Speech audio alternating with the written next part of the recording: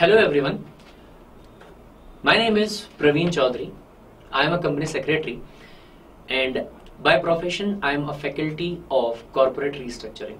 Corporate restructuring आपके C S professional के new syllabus के हिसाब से पहले ग्रुप का सब्जेक्ट है, जो कि पूरे 100 मार्क के लिए आता है राइट डायरेक्टली अगर मैं पहले चैप्टर में मूव करूँ question is what do you mean by corporate restructuring तो सर कॉर्पोरेट रिस्ट्रक्चरिंग करने का मतलब होता है आपकी कंपनी को रिबिल्ड करना या आपकी जो कंपनी होती है, उसके स्ट्रक्चर को चेंज कर देना।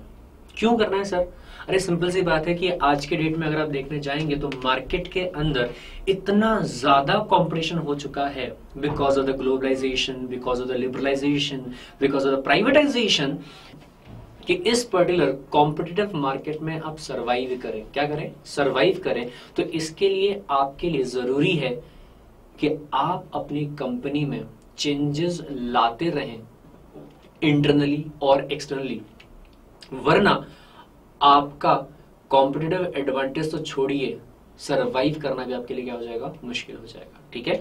तो कॉर्पोरेट रिस्ट्रक्चरिंग का मतलब होता है क्या करना? To give a new structure to a company आपकी जो कंपनी है, उसके स्ट्रक्चर को टोटली चेंज कर देना। इसे भी आप क्या कहेंगे? कॉर्पोरेट रिस्ट्रक्चरिंग करना। या फिर रिबिल्ड करना। आपकी जो कंपनी है, उसको आपने वापस से रिकंस्ट्रक्ट किया रिबिल्ड किया। या फिर रीअरेंज करना राइट right? किस चीज़ को? कंपनी के बिज़नेस को, या कंपनी के बिज़नेस स्ट्रेटजी को। बराबर? क्यों करना चाहते हैं सर ऑब्जेक्टिव क्या है? ऑब्जेक्टिव क्या होगा?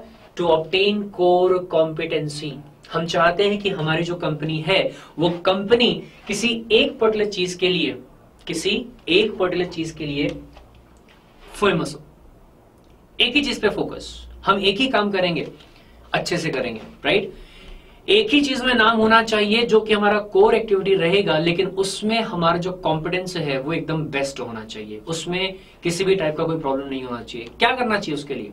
एक काम करो, हर जगह पे जितनी भी बाकी कंपनीज़ हैं, जो कि छोटी मोटी कंपनीज़ हैं, उन कंपनीज़ को आप क्या कर लीजिए? एक्वायर कर लीजिए, जो आपके ही जैसा बिज़नेस करती है। कॉर्पोरेट रिस्ट्रक्चरिंग कर दिया और वो करने की वजह से क्या हुआ? आप शायद कोर कॉम्पिटेंसी को अचीव कर सके। फॉर एग्ज़ाम्पल मित्तल स्टील बराबर? हर रोज किसी न किसी दूसरी कंपनी के साथ में आप क्या करते हैं? मर्ज करते हैं। कौन सी कंपनी ऐसी ही कंपनी जो स्टील में काम करती हो, ताकि आप अपने आप को जियोग्राफिकली एक्सपेंड कर सके। क्लियर चलिए, पहला रीजन दूसरा ऑपरेशनल सिनर्जी हासिल करने के लिए।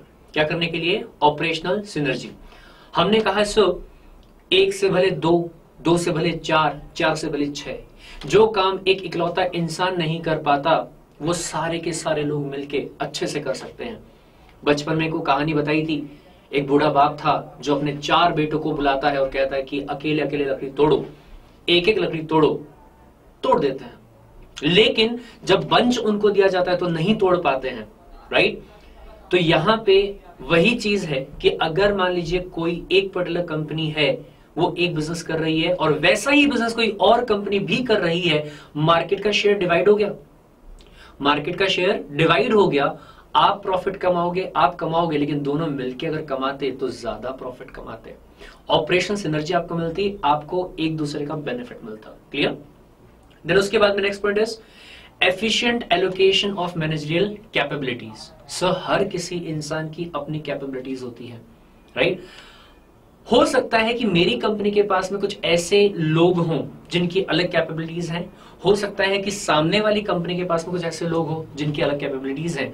अगर ये दोनों कंपनी आपस में मर्ज हो जाए तो आपका बेस्ट और हमारा बेस्ट जब दोनों आपस में मिलेंगे तो उससे जो आपका आउटपुट आएगा वो आउटपुट आपका बेस्ट आउटपुट कहलाएगा। क्लियर देन उसके बाद में नेक्स्ट रिजॉर्ट रिस्क रिडक्शन अरे भैया, एक बात कंफर्म है कि अगर मान लीजिए आप कोई भी बिज़नेस शुरू करते हैं और अगर कल को वो बिज़नेस बंद हो गया, अगर कल को वो काम आप नहीं कर पाए तो ऐसे केस में नुकसान किसका?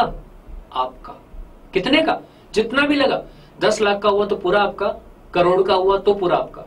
लेकिन अगर आपने रिकंस्ट्रक्शन किया और किसी और से मर्ज कर लिया, मान लीजिए, अगर आपने ये मर्जर किया तो आपका जो लॉस रहेगा या आपका जो रिस्क रहेगा लॉस होने का, वो क्या हो जाएगा? रिड्यूस हो जाएगा, ठीक है? Next point is to achieve economies of scale ये बहुत ही इंपॉर्टेंट पॉइंट है। Economies of scale benefit of the large production अगर आप यहाँ पे थोड़ा सा ध्यान दें सर एक इंसान अलग काम कर रहा है, एक इंसान अलग काम कर रहा है। दोनों अलग अलग काम कर रहे हैं। बिकॉज़ ऑफ़ दैट रीजन उस इंसान को अपना अलग एक्सपेंस बेयर करना पड़ता है। ये इंसान को अपना अलग एक्सपेंस बेयर करना पड़ता है। अगर दोनों लोग आपस में मर्जर कर ले तो ऐसे केस में पॉसिबल है कि क्या हो सकता है? आपको लार्ज प्रोडक्शन का बेनिफिट मिल सकता है। आपका जो कॉस्ट है, कोई भी चीज़ को प्रोड्यूस करने का, वो क्या हो सकता है? कम हो सकता है। एग्ज़ाम्पल हम लेके चलते हैं। फॉर एग्ज़ाम्पल मान लीजिए, मैं पढ़ाता हूँ। मान लीजिए मैं एक अलग एकेडमी में पढ़ाता हूँ, मेरा एक्सपेंस जो होता होगा, वो अलग होता होगा। सेम ऐसे ही एक और मिस्टर एक्स कोई भी पढ़ाते हैं, अलग एकेडमी में वो पढ़ाते हैं, या अलग से एकेडमी चला के पढ़ाते हैं, उनका एक्सपेंस अलग होता होगा। अब अगर मैं यहाँ बात करूँ तो मुझे भी रेंट पे करना पड़ेगा। मान लीजिए कि मुझे टेन थाउज़ेंड का रेंट पे करना पड़ता है। सामने वाले बंदे को भी रेंट पे करना पड़ेगा। सामने वाला भी अपने अलग प्रीमाइज के लिए अलग से दस हज़ार रुपए का रेंट पे करता है। मुझे फर्नीचर लाना पड़ेगा ताकि मेरे बच्चों को मतलब मेरे क्लास के बच्चों को नीचे ना बैठना पड़े। मान लीजिए पाँच हज़ार रुपए का फर्नीचर का खर्चा मेरा लगता है। वहीं पे सामने वाले बंदे को भी फर्नीचर लाना पड़ेगा, उसको भी पाँच हज़ार का एक्सपेंस बेयर करना पड़ता है। इन द सेम वे मुझे नोट्स का एक्सपेंस जो रहेगा, वो बेयर करना पड़ेगा। मान लीजिए अगेन फाइव थाउज़ेंड रुपीज़ का। सामने वाले को भी नोट्स का एक्सपेंस जो है, वो बेयर करना पड़ेगा। अगेन मान लीजिए फाइव थाउज़ेंड रुपीज़ का।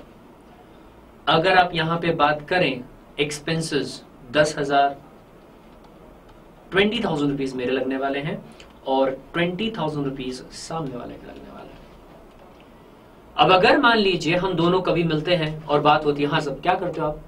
पढ़ाते क्या पढ़ाते हो? सी आर पढ़ाते आप क्या करते हैं सर? मैं भी पढ़ाता हूँ। क्या बात कर रहे हो? सर, मैं डीडी पढ़ाता हूँ, due diligence, as well as मैं कंपनी लॉ पढ़ाता हूँ। अच्छा सर, अगर हम दोनों आपस में मर्ज हो जाएँ, क्योंकि सिंपल सी बात है, मैं दिन भर क्लासेस नहीं ले सकता, मेरे जो क्लासेस हैं, जिसके लिए मैं रेंट पे कर रहा हूँ, ten thousand rupees per month के हिसाब से, दिन भर खाली पड़े होंगे। मैं एक घंटा, दो घंटा क्लास लेता हूँ बाकी टाइम पे खाली पड़ा है राइट यहाँ पे इनकी भी कंपनी लॉ की क्लास होती होगी डीडी की क्लास होती होगी, एक घंटा, दो घंटा पढ़ाया, तीन घंटा पढ़ाया, चार घंटा पढ़ाया, इंसान उससे ज़्यादा कैसे कर पाएगा? बराबर, दस घंटा पढ़ा लिया, बाकी टाइम पे क्या है? क्लासेस खाली पड़ी। यानी कि दस हज़ार रुपए जहाँ पे आपने एक चीज़ के लिए लगाए हैं, क्या आपको, आप उसको अच्छे से यूज़ कर पा रहे हैं? आंसर इज़ नो एक काम करते हैं, क्या? मर्ज हो जाते हैं। क्या हो जाते हैं? मर्ज हो जाते हैं। अगर हम दोनों आपस में मर्ज हो जाएँ तो यहाँ देखने की बात यह है कि हम दोनों के मिला के चालीस हज़ार रुपए का खर्चा लग रहा है। अगर अलग अलग पढ़ाया तो। अगर हम दोनों मर्ज होके पढ़ाते हैं तो मान लीजिए इनको एक्स्ट्रा रेंट पे करना नहीं पड़ेगा। आपके दस हज़ार रुपए की यहाँ पे क्या हो गई? सेविंग्स हो गई। वहीं पे अगर मैं यहाँ पे फर्नीचर की बात करूँ, सर, अलग से फर्नीचर लाने की क्या ज़रूरत है? जब ऑलरेडी हमारे पास में फर्नीचर रखा हुआ है तो आपको फर्नीचर लाने की ज़रूरत नहीं होगी। ओएलएक्स पे बेच देंगे। और तीसरा नोट्स पाँच हज़ार रुपए का आपका खर्चा अलग लग रहा था। पाँच हज़ार रुपए का मेरा खर्चा अलग लग रहा था। अगर मान लीजिए, हम दोनों मिलके काम करते हैं, माना कि नोट्स का खर्चा हमें लगने वाला है, लेकिन हमारा जो कॉस्ट बढ़े, लेकिन उतना ना बढ़े जितना कि इंडिविजुअली बढ़ रहा था, ठीक है? तो मेरा जो एक्सपेंस है, वो शायद यहाँ पे सेवन थाउज़ेंड का हो जाए। बराबर? एट का लगा लो टेन का लगा लीजिए। बराबर? इतना करने के बाद में भी जो एक्सपेंस है it will be maximum twenty five thousand rupees कहा चालीस हज़ार रुपए हम अलग अलग से पे कर रहे थे?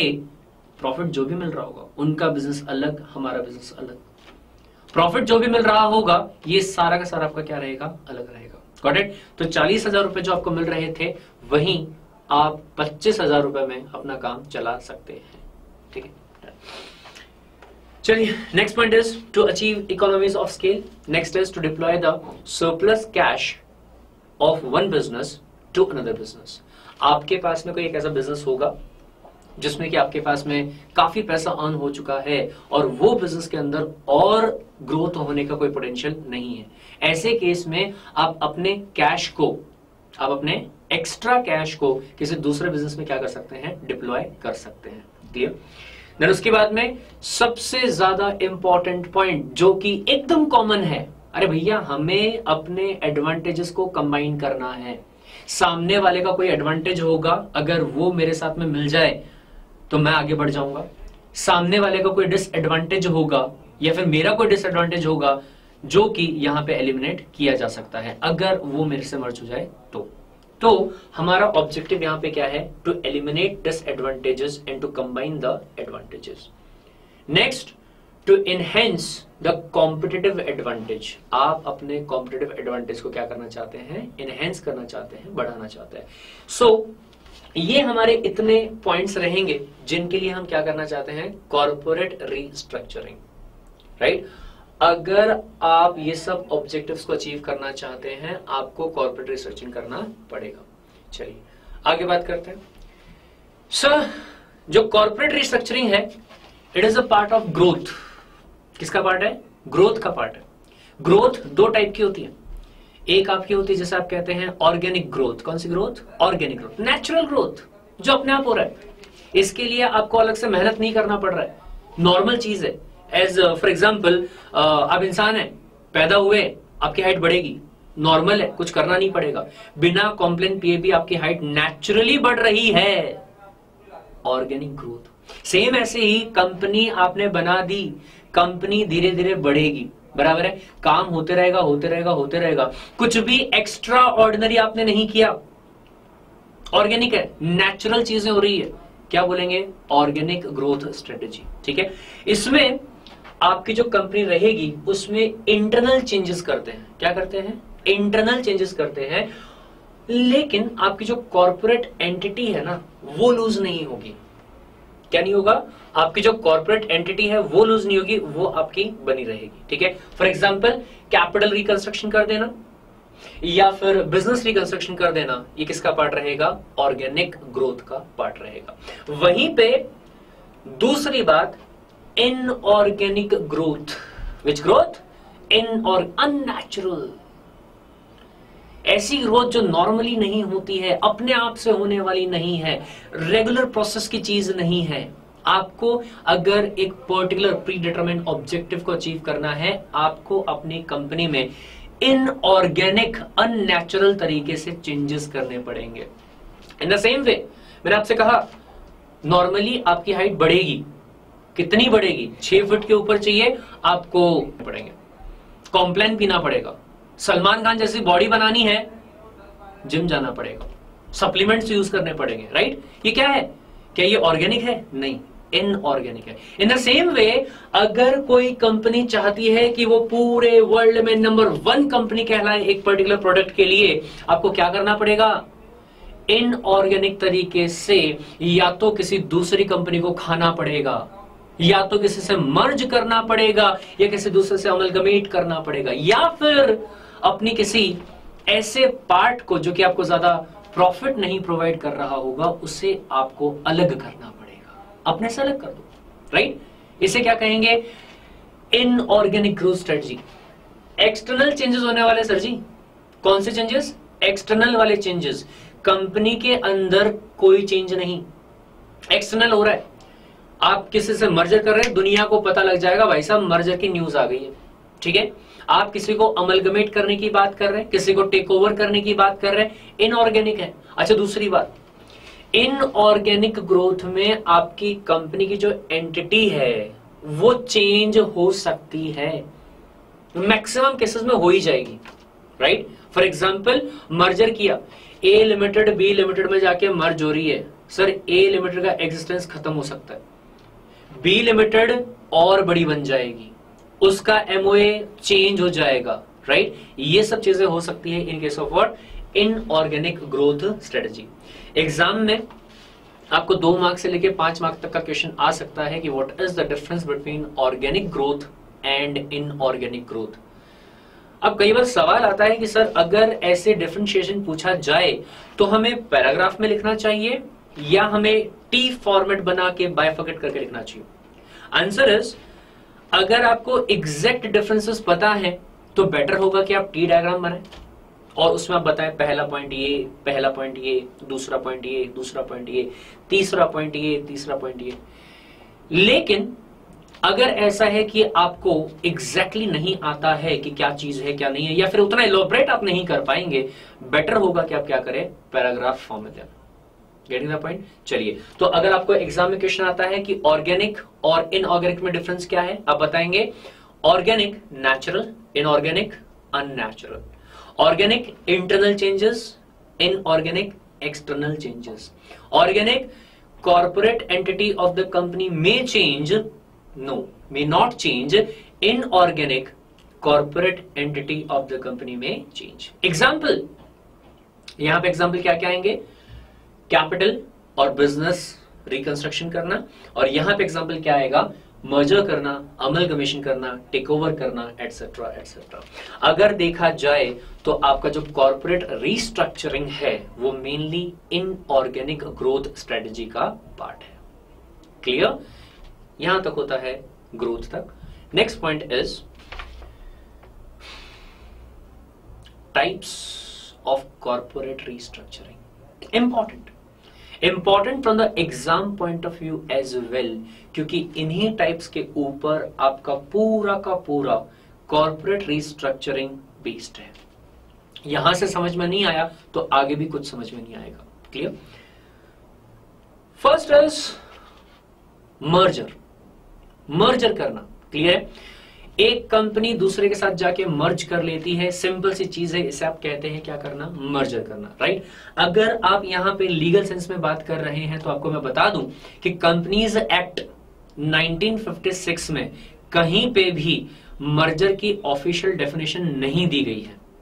क्लियर एक जनरल टर्म जो है, वो यूज़ किया गया है, जिसमें कहा गया है, merger is a fusion merger is a fusion of two or more companies so that the assets and the liabilities of both company comes under the ambit of one company and the shareholders of both the companies get the shares of one company clear अगर इसको हम diagram से देखना चाहें तो हम बोल सकते हैं कि जैसे मान लीजिए फॉर एग्जांपल एक कंपनी है नाम है ए लिमिटेड एक कंपनी है, नाम है बी लिमिटेड। क्लियर? दो आपके यहाँ पे अलग अलग कंपनीज़ हैं। ये जो कंपनी रहेगी, अगर मान लीजिए ये कंपनी इस कंपनी में जाके मर्ज हो रही है A limited. A limited B limited में जाके अगर मर्ज हो रही है, जो कंपनी मर्ज हो रही है, इसे नाम देंगे merging company. Which company? Merging. टिंग टिंग टिडिंग एग्ज़ाम में याद रखने के लिए। कैसा? बहुत बार ऐसा होता है कि आप भूल जाते हैं, सर मर्जिंग कौन सी मर्ज कौन सी? कभी कभी इसको हम मर्जिंग कह देते हैं कभी कभी इसको हम मर्ज कह देते हैं right exam point of view से इंपॉर्टेंट है ये ध्यान देना कि कौन सी कंपनी मर्जिंग कहलाएगी, कौन सी कंपनी मर्ज जो कंपनी अपना एग्जिस्टेंस लूज कर दे, उसे नाम दिया जाएगा विच कंपनी मर्जिंग कंपनी जो कंपनी एग्जिस्टेंस में रहे, बाद में भी मर्जर होने के बाद भी, उसे क्या नाम देंगे? उसे नाम देंगे merged company. M E R G आप लगा लेंगे ईडी e मैंने लगा दिया। ठीक है? Merged company. चलिए। सो ए लिमिटेड यानी कि ये वाली कंपनी अपने एसेट्स एंड लाइब्रेटीज ट्रांसफ़र कर दी कि, किसके पास में? बी के पास में। ए लिमिटेड के एसेट्स एंड लाइब्रेटीज ट्रांसफ़र हो जाएँगे बी लिमिटेड के पास में और ए लिमिटेड के जो शेयर होल्डर्स हैं, उन सारे शेयर होल्डर्स को बी लिमिटेड के क्या मिल जाएँगे? शेयर्स मिल जाएँगे। एंड मर्जर हो जाने के बाद में आपका जो ए लिमिटेड है, उसका एग्जिस्टेंस खत्म हो जाएगा। इसे क्या नाम देंगे? मर्जर समझ में आया? डर हमने क्या कहा? सो मर्जर एक जर्नल टर्म है, जिसमें बोला गया है कि दो कंपनीज़ का फ्यूजन क्रिएट होता है, या दो कंपनीज़ आपस में ब्लेंड हो जाती हैं कुछ इस तरीके से कि दोनों के एसेट्स एक ही कंपनी के नीचे। दोनों के एसेट्स एक ही कंपनी के नीचे, दोनों की लाइबिलिटीज एक ही कंपनी के नीचे और एक ही कंपनी के एम्बिट में, और दोनों कंपनी जो शेयर होल्डर्स रहेंगे, वो इसी कंपनी के शेयर होल्डर्स बन जाएँगे। बराबर? अब एक तो ये तरीका हो गया, जिसमें कि हमने बताया मर्जर होता है, या फिर ऐसा भी हो सकता है कि मान लीजिए एक कंपनी है, नाम है ए लिमिटेड दूसरी कंपनी है, नाम है बी लिमिटेड ये दोनों की दोनों कंपनीज़ आपस में मर्ज हो जाती है और एक नई कंपनी बनाएँगी, इधर with the existing name A B limited और with a new name maybe C limited बराबर? यहाँ पे A limited merging company B limited merging company important यहाँ पे भी एग्ज़ाम में गलतियाँ होती है। हमने कहा, अगर एक कंपनी दूसरे में मर्ज हो रही है, उसे नाम दिया मर्जिंग कंपनी मर्ज हो रही है राइट यहाँ पे भी तो वही हो रहा है। ये दो कंपनीज़ हैं जो एग्जिस्टेंस में है। और एक नई कंपनी यहाँ पे आने वाली है with new name maybe A B limited और maybe with C limited right ये दोनों कंपनी जो रहेंगी, ये आपकी मर्जिंग कंपनी कहलाएँगी। और जिस कंपनी में जाके वो मर्ज हो रही है, वो क्या कहलाएगी? Merged company is this point clear done आगे बढ़ेंगे। Next point is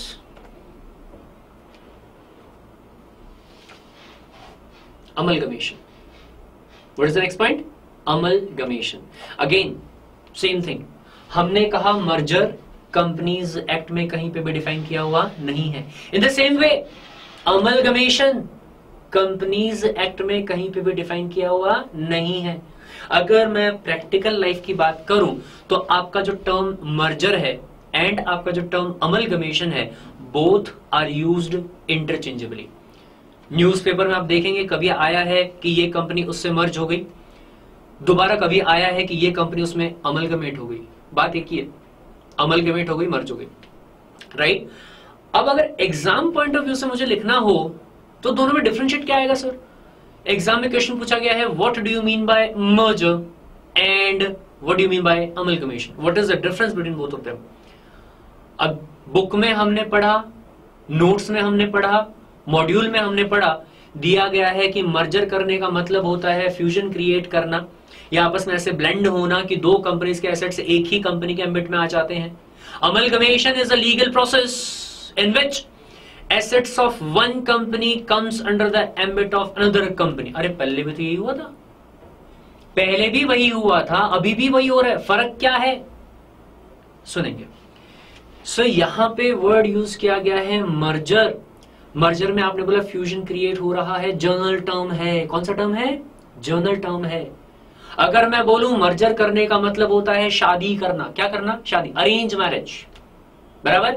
शादी करना। सर शादी कर ली। कैसे करी? कैसे भी करी। शादी कर ली। हो सकता है कि आपने सात फेरे लिए हो। शादी हो गई होगी।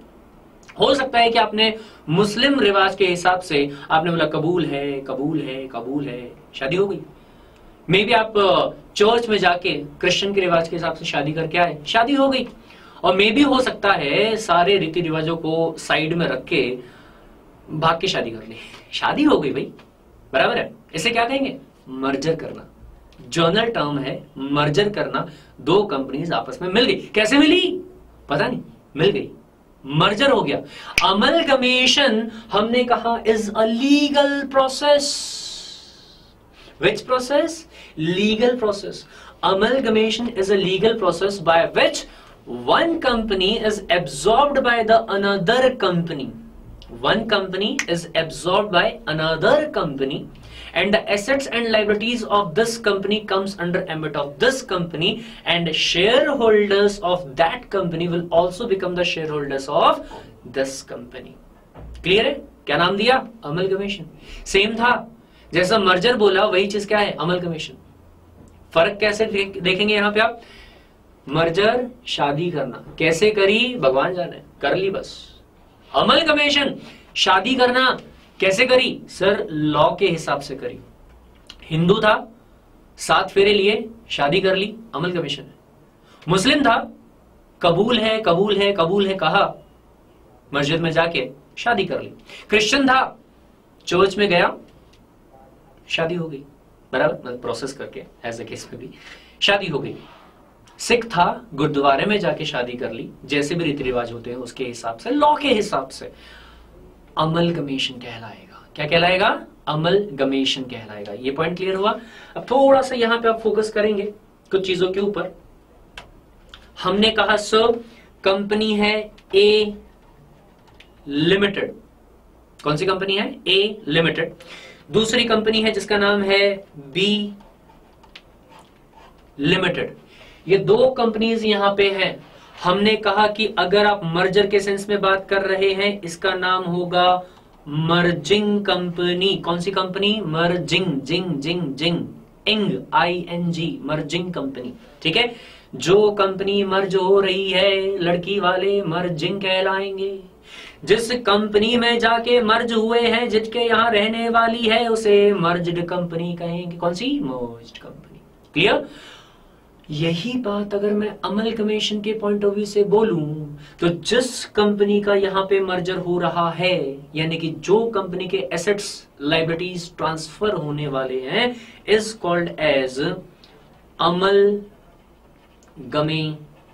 amalgamating company कौन सी कंपनी अमल गमे टिंग टिंग टिंग टिंग सेम थिंग जो कंपनी अपने एसेट्स ट्रांसफ़र करेगी, उसे हमने मर्जिंग या अमलगमेटिंग कंपनी कहा है, ठीक है? और जहाँ पे जाके ये एसेट्स ट्रांसफ़र होंगे, और जो कंपनी लास्ट में एग्जिस्टेंस में रहेगी, उसे आप कहते हैं अमल गमे Ted company end merge E D amalgamated E D sir ये कंपनी जो अंत तक ज़िंदा रहती है, उसे कहते हैं अड मर्ज्ड अमलगमेटेड क्लियर है? और जो कंपनी मर्जर होने के बाद में अपना अस्तित्व खो दे डिजोल्व हो जाए, उसे नाम क्या देंगे? मर्जिंग कंपनी समझ में आया? मर्जिंग या फिर amalgamating company and from the another point of view आपने कहा कि ये कंपनी अपने एसेट्स एंड लाइबिलिटीज को ट्रांसफ़र करेगी कहाँ पे? बी लिमिटेड के पास में, ठीक है? तो from that point of view this company can also be called as transferor company कौन सी कंपनी ट्रांसफरर कंपनी एंड जिसके पास में एसेट्स जाते हैं, याद होगा I think Indian Stamp Act जो बंदा अपने एसेट्स को ट्रांसफ़र करता है ट्रांसफरर कहलाता है। क्या कहलाता है? ट्रांसफरर और जिसके पास में एसेट्स जाते हैं, वो क्या कहलाएगा? ट्रांसफरी सेम वही चीज़ है ए लिमिटेड अपने assets and liabilities rights and liabilities को ट्रांसफ़र कर रहा है ट्रांसफरर कहलाएगा। बी लिमिटेड के पास में लाइबिलिटीज जा रही हैं एसेट्स जा रहे हैं, क्या कहलाएगा? ट्रांसफरी कहलाएगा।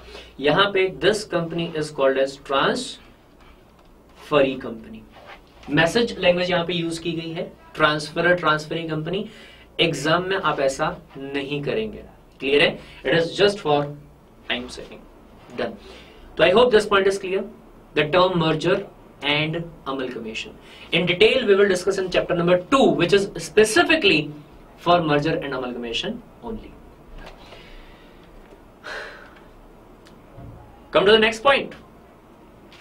After merger amalgamation, next thing is take over. Thing is what? Take over.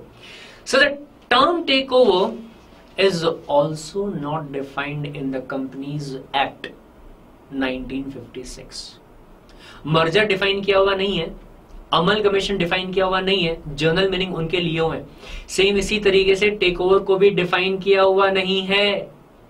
Just उसका जो जर्नल मीनिंग है, वो आपने वहाँ पे यूज़ किया हुआ है। क्या कहा गया?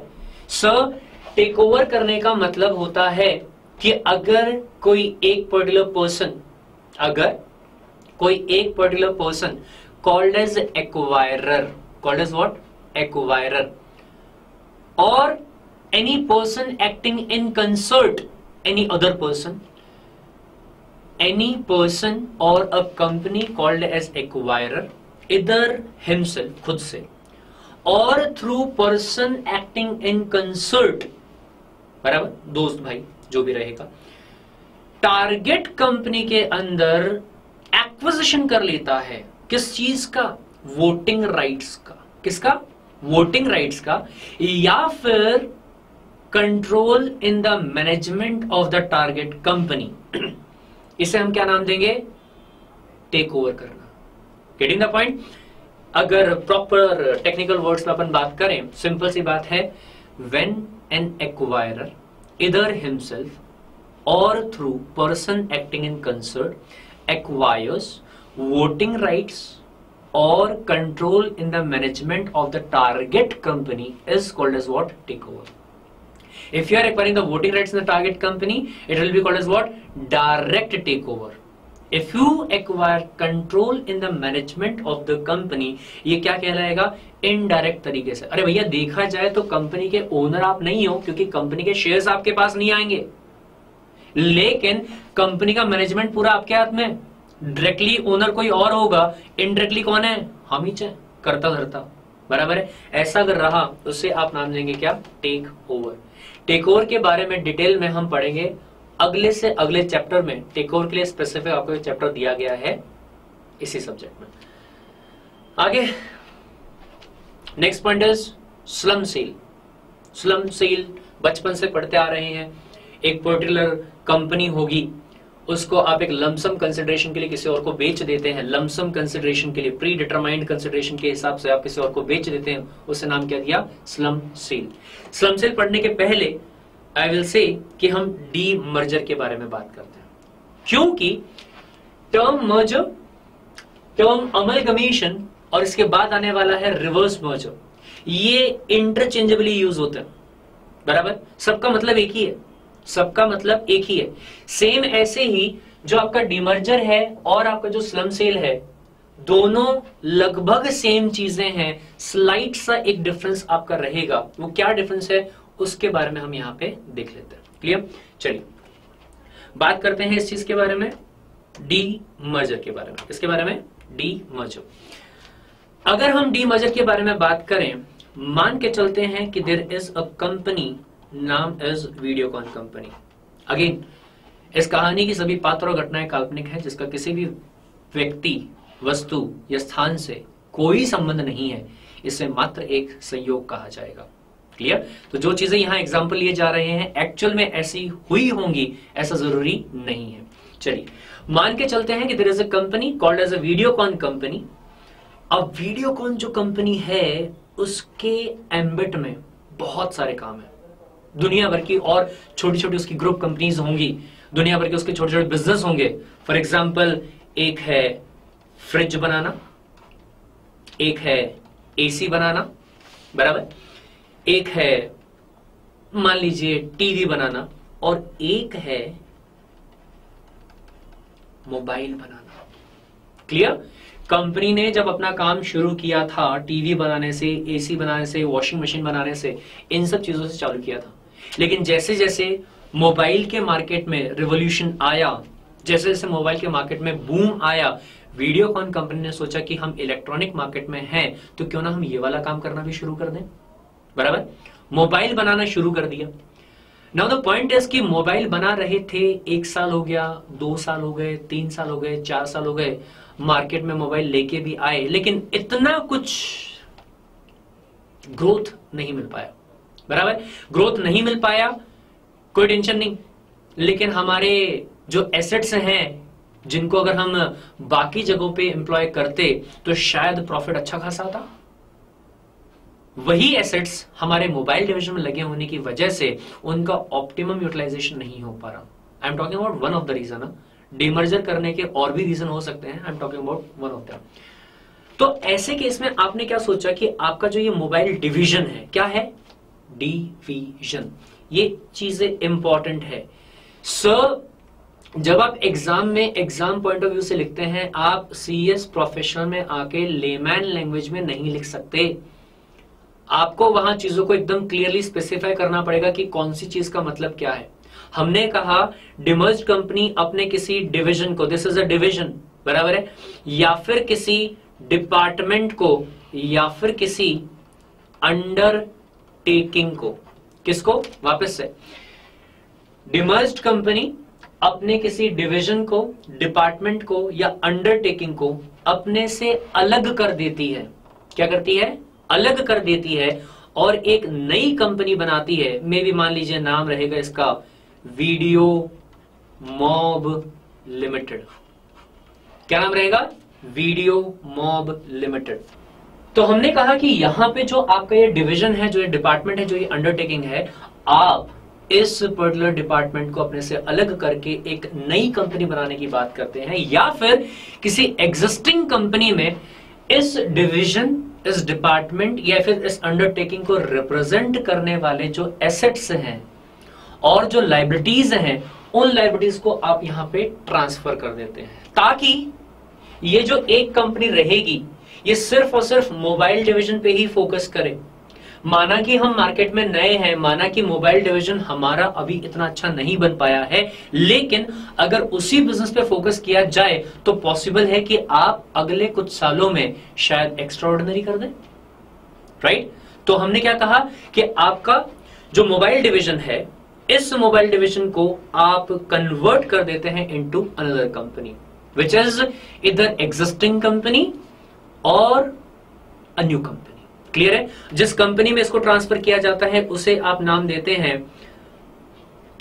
रिजल्टिंग कंपनी ये टर्म्स इंपॉर्टेंट हैं एग्ज़ाम पॉइंट ऑफ़ व्यू से. इसे आप कहते हैं रिजल्टिंग कंपनी कौन सी कंपनी रिजल्टिंग कंपनी और वहीं पे अगर आप बात करते हैं इस पर्टिकुलर चीज़ के बारे में, इसे आप नाम देंगे डी मर्ज्ड कंपनी जिसका पार्ट अलग हो रहा है, डिमर्ज्ड कंपनी, और जिसमें जाके वो मिल रहा है रिजल्टिंग कंपनी बराबर? गलती सिली मिस्टेक्स कुछ लोग इससे बताते हैं कि ये डिमर्ज्ड कंपनी है अंडरटेकिंग को. राइट गलत है. This is wrong demerged company मतलब पूरी की पूरी वीडियो वीडियोकॉन कंपनी जिसने अपने पार्ट को अपने से डिमर्ज किया, अपने से अलग किया. डिमर्ज्ड कंपनी रिजल्टिंग कंपनी जिस कंपनी में जाके whether existing or a new company जिस कंपनी में जाके आपका पार्ट मर्ज हो रहा होगा, उसे आप नाम देंगे रिजल्टिंग कंपनी क्लियर डन तो सर स्लम सेल से कैसे रिलेटेड है ये चीज़? सिंपल सुनेंगे. हमने कहा जो ये डिपार्टमेंट है, जो ये अंडरटेकिंग है, ये पोटेंशियल है, हम इसको अपने से अलग नहीं करना चाहते। हम चाहते हैं कि हम उसी काम पे फोकस करें तो इसीलिए हमने इसको अपने से अलग कर दिया। हमारी ऑलरेडी एक जो बास्केट थी, उसमें से निकाल के अलग रख दिया, लेकिन है अभी भी मेरे ही पास। नाम क्या रखा अपन ने? वीडियो मॉब लिमिटेड है अभी भी हमारे ही पास। ठीक है? तो इसे आप नाम क्या दिए? डीमर्जर अपने एक पार्ट को अपने से अलग कर दिया जो कि अभी थोड़ा सा खराब था, लेकिन कुछ दिनों के बाद शायद अच्छा हो जाए। बराबर? नाम मेरा चाहिए, वीडियो मॉब लिमिटेड। लेकिन वहीं पे स्लम सेल, सर, हमें पता है कि हमारा जो डिपार्टमेंट है, हमारी जो ये अंडरटेकिंग है, हमारा जो डिविजन है, ये लॉन्ग टर्म में अच्छा नहीं कर पाएगा। ठीक है? इसको क्या करना पड़ेगा? बेच दो, सर। इसको बेच दो। इसका स्लम सेल कर दो। ठीक है? अब स्लम सेल हमने कहा कि अगर ये अंडरटेकिंग को रिप्रेजेंट करने वाले एसेट्स को बिना इंडिविजुअल वैल्यूएशन करे, अगर आप ऐसे ही किसी प्री डिटरमाइंड लमसम कंसिडरेशन के लिए बेच देते हैं, इससे आप नाम देंगे स्लम सेल करना। किसी और को बेचा। शायद मार्केट में मान लीजिए माइक्रोमैक्स नाम की कोई कंपनी थी जो कि इंडिया की number one growing mobile company कहला रही है आजकल, वो कंपनी ऑलरेडी मार्केट में ढूंढ रही है, किसी और को एक्वायर करने के बारे में सोच रही है। बराबर? आपने कहा, भैया, एक काम कर, मेरे पास में एसेट्स रखे हुए हैं मोबाइल बनाने वाले मशीन्स रखी हुई है, सारी चीज़ें सेटअप है अच्छे तरीके से, लेके जा, घर लेके जा। बराबर? घर लेके जाओ, बनाओ अच्छे से मोबाइल अपने अपने मोबाइल को आप और अच्छा बनाए, क्योंकि हमारे हिसाब से, हमारे पास जो डिवीज़न है ये लॉन्ग टर्म में अच्छा काम नहीं कर पाएगा और हम हमारे एग्जिस्टिंग काम पे ही फोकस करना चाहते हैं राइट तो your demerger will be considered as a slump sale जब आप अपने किसी पार्ट को अपने से अलग करके कोई रिजल्टिंग कंपनी ना बनाए, बल्कि अपने पार्ट को अलग करके किसी तीसरे बंदे को बेच दें for a predetermined lump sum consideration will be called as what slum sale clear done let's move to the next topic and that is what reverse merger that is what reverse merger already बोल चुका हूँ term merger term amalgamation and the term reverse merger same चीज़ें हैं मतलब होता है शादी करना मर्जर करने का मतलब होता है शादी करना। लीगली किया तो अमलगमेशन बोल दिया था। लेकिन हमने कहा any merger will be called as reverse merger any merger will be called as reverse merger अगर उल्टी गंगा बह जाए तो। जैसा सोचा था वैसा ना हो तो। बराबर? एग्ज़ाम्पल हमने कहा सर शादी में नॉर्मली ये माना जाता है कि जो फाइनेंशियली वीक कंपनी होती है, वो कंपनी किसी दूसरे फाइनेंशियली हेल्थ कंपनी के अंदर जाके क्या हो जाएगी? मर्ज हो जाएगी। बराबर है? यानी कि शादी हुई तो कंफर्म है, लड़की की शादी होगी, लड़के के साथ में लड़की दहेज का सामान लेगी, लड़के के यहाँ जाएगी। आज के बाद में लड़की के नाम का अस्तित्व खत्म। लड़की जानी जाएगी। किसके नाम से? लड़के के सरनेम से। मर्जर नाम दिया था। बराबर है? इसी को आपने लीगल प्रोसेस से किया तो अमलगमेशन नाम दे दिया। बराबर? But now the point is reverse merger क्या कभी किसी ने सोचा था कि अगर लड़का शादी होके लड़की के यहाँ आ जाए, घर जमाई बन के है? उल्टी गंगा बह गई। क्या हो गया? उल्टी गंगा बह गई। रिवर्स मर्जर शादी हुई। शादी हुई, लेकिन उल्टी गंगा बह गई, लड़का घर जवाई बन के लड़की के यहाँ आ गया। इसे कहेंगे क्या? रिवर्स मर्जर अगर मैं कंपनी के पॉइंट ऑफ़ व्यू से बोलूँ, अगर मैं कंपनी के पॉइंट ऑफ़ व्यू से बोलूँ नॉर्मली हमने सोचा होगा कि financially weak company financially healthy company में जाके क्या हो जाएगी? मर्ज हो जाएगी। Right right? या फिर कोई प्राइवेट कंपनी और अनलिस्टेड पब्लिक कंपनी किसी लिस्टेड पब्लिक कंपनी में जाके मर्ज हो जाएगी। वहीं पे अगर कोई हेल्दी कंपनी वीक कंपनी में जाके मर्ज हो जाए रिवर्स मर्जर और अगर कोई पब्लिक लिस्टेड कंपनी किसी प्राइवेट कंपनी में या फिर किसी पब्लिक लिस्टेड कंपनी में जाके मर्ज हो जाए, उसे क्या कहेंगे? रिवर्स मर्जर दो सिनेरियोज हो सकते हैं. एग्ज़ाम में अगर आपको लिखने हैं रिवर्स मर्जर के दो सिनेरियोज हो सकते हैं। पहला financially healthy company is merging with the financially weak company पहले वाले केस में, यानी कि मर्जर के केस में आपने कहा था कि merging company is a financially weak company थोड़ी बहुत। ज़रूरी नहीं कि सिख ही होगी, थोड़ी बहुत वीक हो सकती है। Merge company is financially healthy company यहाँ पे उल्टा उल्टा, बराबर है? Weak company is merged company and healthy company is merging company clear है? Is called is what reverse merger क्यों करते हैं सर मर्जर आपने किया, समझ में आया। कोर कॉम्पिटेंसी अचीव करनी है, अपने आप को बढ़ाना है, बड़ा करना है, सामने वाले को अपने अंदर मर्ज कर लिया। Is called is what merger objective समझ में रिवर्स मर्जर करने के लिए जो वीक कंपनी है, वो तैयार हो जाएगी, लेकिन जो हेल्दी कंपनी है, वो मर्ज होना चाहेगी? हाँ। किसके लिए? टैक्स बेनिफिट्स को लेने के लिए। किसके लिए? टैक्स के बेनिफिट्स को लेने के लिए। डिटेल में पढ़ेंगे, जब रिवर्स मर्जर पे अपन डिटेल में बात करेंगे, तब उस चीज़ पे अपन आएँगे। ठीक है? आगे बढ़ते हैं। Next point disinvestment next point is what disinvestment What do you mean by the disinvestment? So, अगर कोई प्राइवेट सेक्टर की कंपनी थी, उसने अपने आप को डिमर्ज कर दिया था। क्या कर दिया था? डिमर्ज कर दिया था।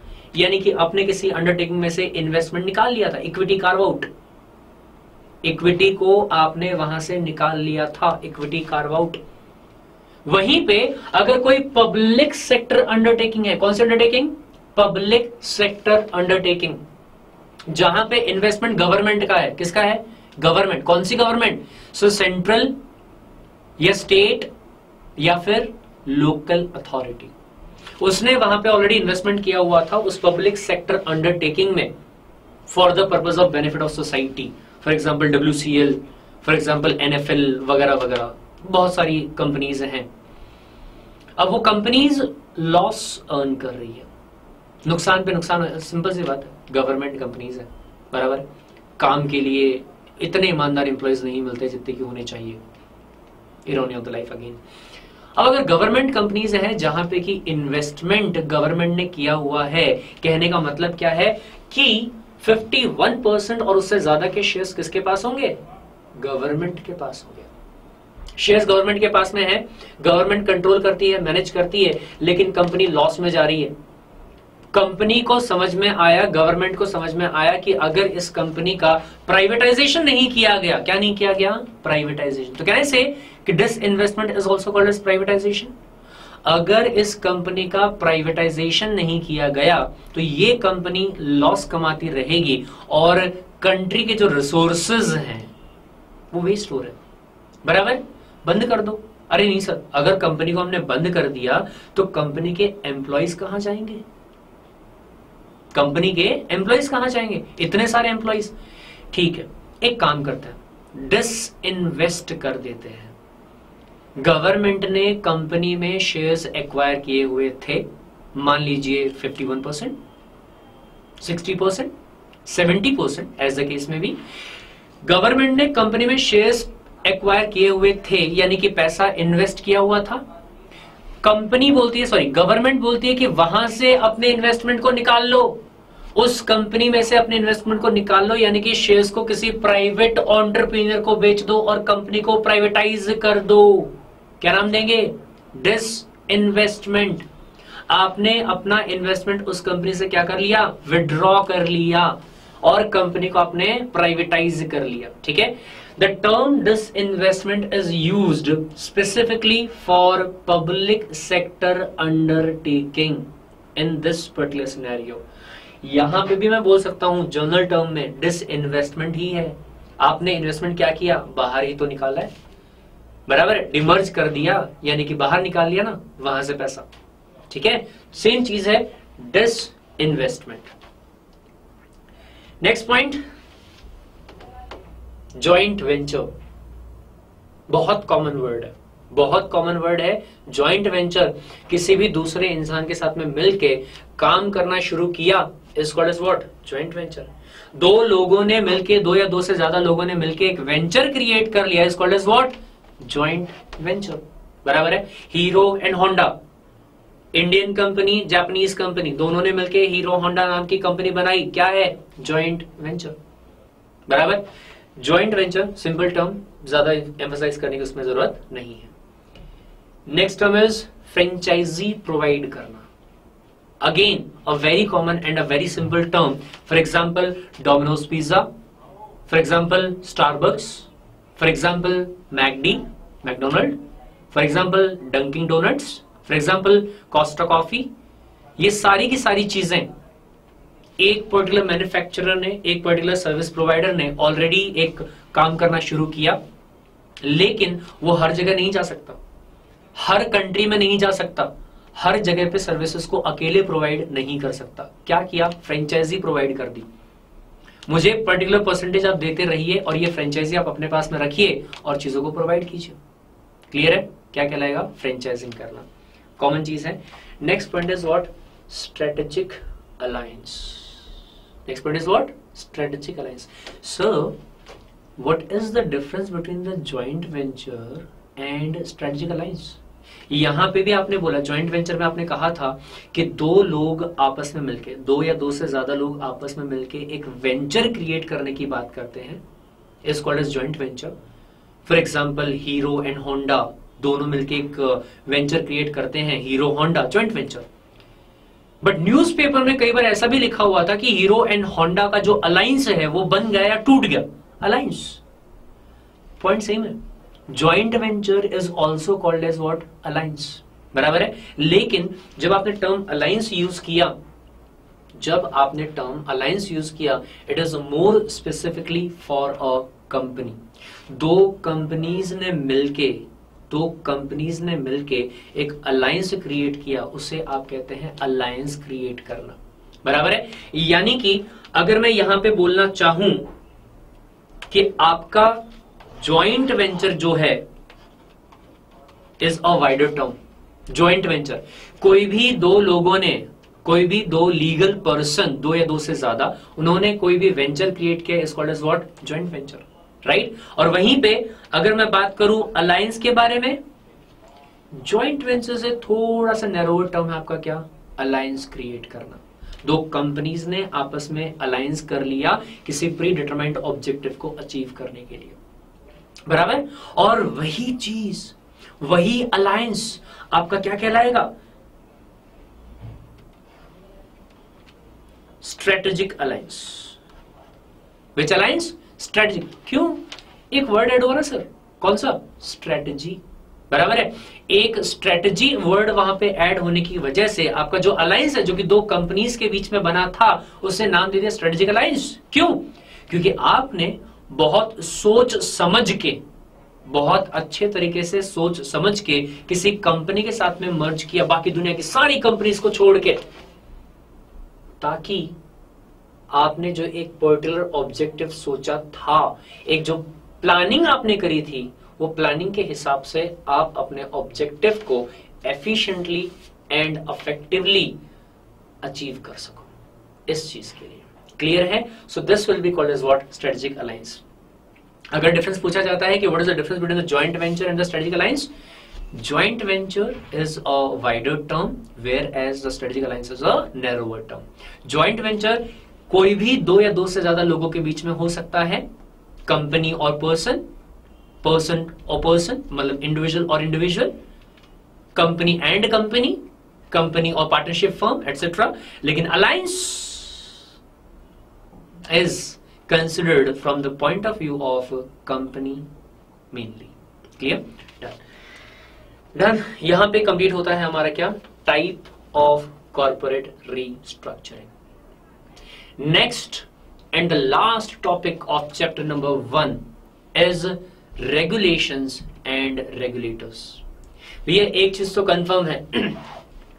अगर आप कॉर्पोरेट रिस्ट्रक्चरिंग करने की बात कर रहे हैं मतलब कि आप कंपनी के स्ट्रक्चर को चेंज करने की बात कर रहे हैं। कंपनी के स्ट्रक्चर को चेंज करने के लिए आपको बहुत सारे रेगुलेशंस को फॉलो करना पड़ सकता है। आपको बहुत सारे रेगुलेटर्स के पास जाना पड़ सकता है, उनसे बात करनी पड़ सकती है, उनके पास में पिटीशन फ़ाइल करना पड़ सकता है, वगैरह वगैरह वगैरह। बराबर? तो अगर यहाँ बात की जाए रेगुलेशंस के बारे में कि आपको कौन से रेगुलेशंस को फॉलो करना है एंड आपको कौन से रेगुलेटर्स के पास जाना पड़ेगा? तो लेट्स सी सबसे पहला कंपनीज़ एक्ट सीधी सी बात है। कॉर्पोरेट रिस्ट्रक्चरिंग तब से बात कर रहे हैं। कंपनी मर्ज होगी कंपनी डिमर्ज होगी कंपनी अमलगमेट होगी। तो कंपनीज़ एक्ट जो रहेगा, वो तो आपको फॉलो करना पड़ेगा right now the companies act इधर 1956 और 2013 as the case may be 1956 और 2013 सर अलग अलग दोनों ने। दोनों में से कोई एक नहीं अलग अलग as per the companies act 1956 section number 391 to 394 is a complete code for the merger and amalgamation बराबर है? वहीं पे कंपनीज़ एक्ट 2013 में इस चीज़ को डिफाइन किया गया है, इस चीज़ को रिलेट किया गया है इन सेक्शन नंबर 230 टू 237 में, जो कि अभी तक आईसीएसआई के सिलेबस के हिसाब से नोटिफाई नहीं हुआ है, क्योंकि उसमें एनसीएलटी के फॉर्मेशन की बात की गई है। तो जब तक कि वो नोटिफाई नहीं हो जाता, आपको मर्जर अमल अमलगमेशन के लिए जो प्रोसेस फॉलो करनी है that will be as per section number 391 to 394 clear चलिए। तो कंपनीज़ एक्ट जो रहेगा वो आपको फॉलो करना है। अगर आपको कंपनीज़ एक्ट फॉलो करना पड़े तो आपको जाना पड़ेगा आरओसी के पास रजिस्ट्रार ऑफ़ कंपनीज़ के पास for various purpose sir merger हो गया। आप प्लीज़ उसको फ़ाइल कर लीजिए अपने डॉक्यूमेंट्स के अंदर। या फिर सर मर्जर करना है। कंपनी का एमओए अमेंड करना था, हमने अमेंड कर लिया। आपके पास में स्पेशल रेजोल्यूशन फ़ाइल करना पड़ सकता है एज केस में भी तो आरओसी के पास जाना पड़ सकता है। आरडी के पास जाना पड़ सकता है रीजनल डायरेक्टर के पास right apart from that regulation में आपको फॉलो करना पड़ेगा। Companies court rules 1959 the most important point for merger, for amalgamation and for winding up. So अगर आप कंपनी को मर्ज या अमलगमेट करने की बात करते हैं आपको मर्जर करने के लिए मेनली अप्रूवल लेना पड़ेगा किसका? हाई कोर्ट का। किसका अप्रूवल लेना पड़ेगा? हाई कोर्ट का। High court is the sole authority जो कि आपके मर्जर अमलगमेशन को अप्रूव कर सकता है। बराबर? तो अगर आपको हाई कोर्ट के पास जाना है, आपको फॉलो करना पड़ेगा कंपनीज़ कोर्ट रूल्स 1959 किस चीज़ के लिए? सो पिटिशन फ़ाइल करना है। या हाई कोर्ट का ऑर्डर आएगा। या फिर हमें बाद में जाके सैंक्शन ऑर्डर के लिए पटिशन फ़ाइल करना पड़ेगा, या फिर चेयरमैन की रिपोर्ट हमें लेनी पड़ेगी, या फिर शेयर होल्डर्स की मीटिंग के लिए जब नोटिस देना पड़ेगा, या फिर पब्लिक एडवर्टीजमेंट देना पड़ेगा तो फॉर्म्स वगैरह जो सारी चीज़ें फॉलो करनी है, जो फॉर्मेट हमें फॉलो करना है, वो दिया गया है कंपनीज़ कोर्ट रूल्स 1959 में। क्लियर है? और उसके हिसाब से अथॉरिटी कौन है? हाई कोर्ट क्लियर डन तीसरा इनकम टैक्स एक्ट 1961 सिंपल सी बात है, आपने बोला कि आप संसील करने वाले हैं। आप अपनी कंपनी को, अपने कंपनी के डिवीज़न को अंडरटेकिंग को, या फिर डिपार्टमेंट को किसी दूसरे को ट्रांसफ़र करने वाले हैं। आपको कैपिटल गेन हो सकता है। बराबर? अगर कैपिटल गेन है इनकम टैक्स अथॉरिटीज आपसे बोलेंगे, भैया टैक्स पे करो। करना है या नहीं करना है, बाद की बात है, लेकिन इनकम टैक्स एक्ट आपको फॉलो करना पड़ेगा।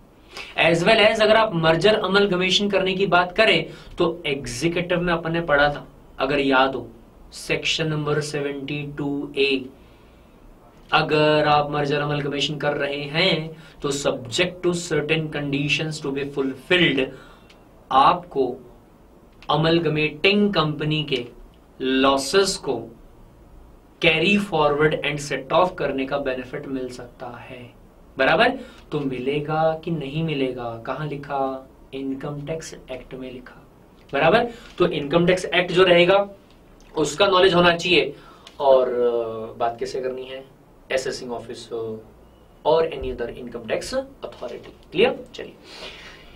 Next is competition act 2002 very much important sir आप दो कंपनीज़ को मर्ज करने की बात कर रहे हैं अमलगमेट करने की बात कर रहे हैं।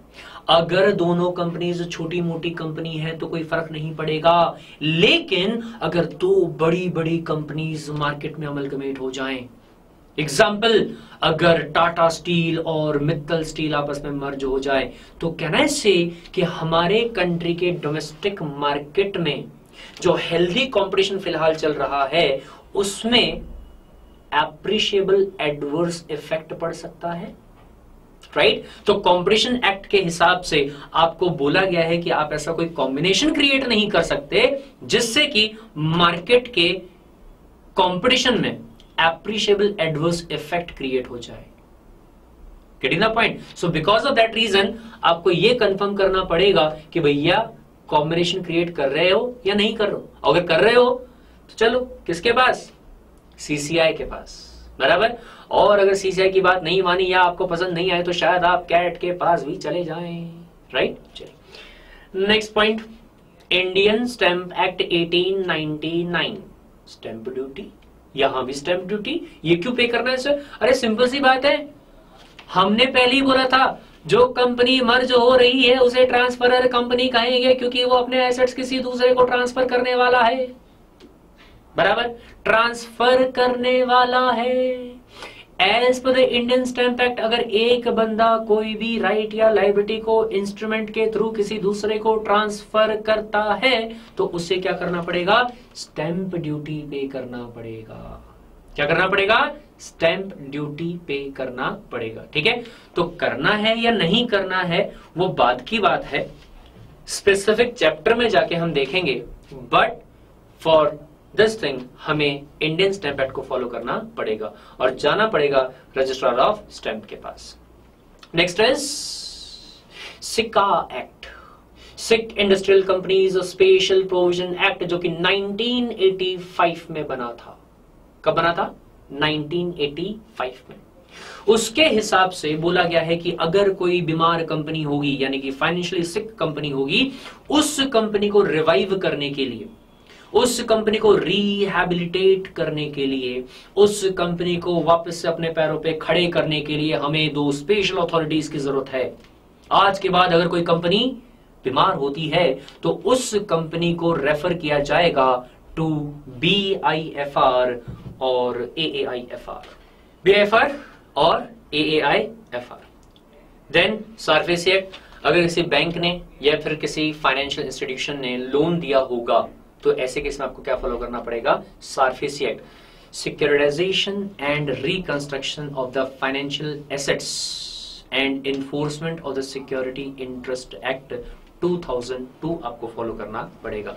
एंड उसके हिसाब से आप जा सकते हैं D R T dept recovery tribunal and D R A T dept recovery appellate tribunal के पास। Clear and last but not least listing agreement आपको फॉलो करना पड़ सकता है। अगर आपकी जो कंपनी है, वो लिस्टेड कंपनी रही तो अगर आपकी कंपनी एक लिस्टेड पब्लिक लिस्टेड कंपनी है तो आपको लिस्टिंग एग्रीमेंट फॉलो करना पड़ेगा। उसके हिसाब से आपको स्टॉक एक्सचेंज और सीबी की जो बातें हैं, वो माननी पड़ेगी। क्लियर डन यहाँ पे हमारा कंप्लीट होता है फ़र्स्ट चैप्टर जिसमें कि हमने सिर्फ़ ओवरव्यू किया। कि कॉर्पोरेट रिस्ट्रक्चरिंग का मतलब क्या होता है? उसमें टर्म्स कैसे होते हैं? कंडीशंस कैसे होते हैं? In the next chapter that is the chapter number two we will see about merger and amalgamation in detail thank you